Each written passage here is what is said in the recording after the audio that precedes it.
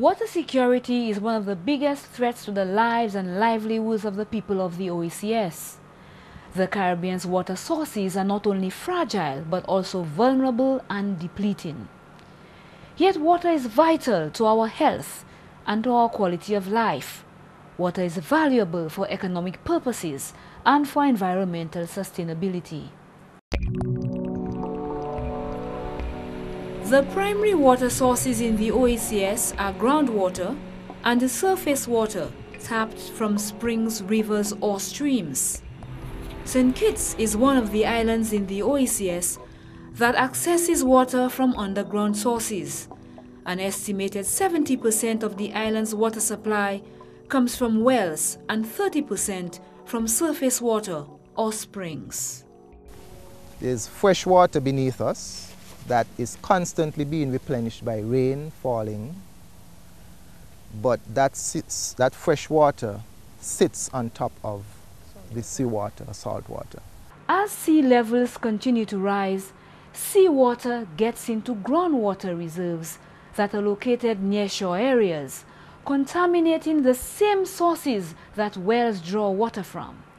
In the case of St. Kitts, some of these wells are only half a mile away from the shore. If sea level were to rise, these wells, we may lose them. We may lose them. And so if a well is drilled at a higher elevation, it has a much better chance of, of surviving a one foot rise in, in, in sea level. There are also major challenges from climate change to surface water sources. In dry periods, water will become scarce and prolonged droughts will have serious implications for water sources. In wet periods, there will be the challenge from too much water. Gathering and analyzing information on weather is essential to planning for climate change, especially with unpredictable rainfall patterns. Agencies extracting underground water must be able to determine the optimum abstraction rate of fresh water. That is how much water we're getting by precipitation or rainfall, how much is actually going into the ground, how much is being lost by evapotranspiration. And, um, and, and, at the end of the day, that would determine for us at the water utility how much water we will have available. For islands like St. Vincent and St. Lucia that depend on surface water, Heavily silted rivers pose a problem during and after heavy rains.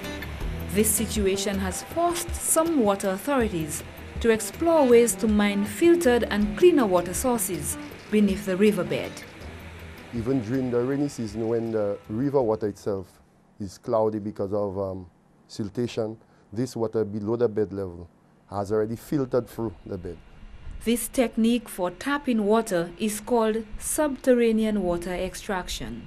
It's something we can use during the dry season because during the dry season you find that the levels of the rivers actually subside so there is still water below the bed which we can capture. During the rainy season the water is turbid and not usable so we can still capture the water below the riverbed. These measures are some of the ways water companies are adapting to climate change.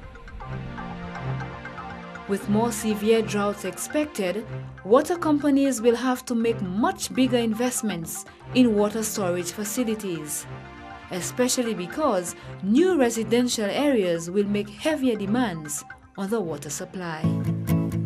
In order to reduce the impacts of climate change on the water sector, here's what you can do. Install low water flush toilets. Take shorter showers.